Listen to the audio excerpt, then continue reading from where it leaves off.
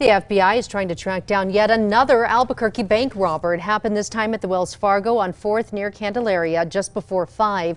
The suspect was wearing a Mario Brothers hat and is believed to be the same man behind a bank robbery on Wyoming back on February 22nd.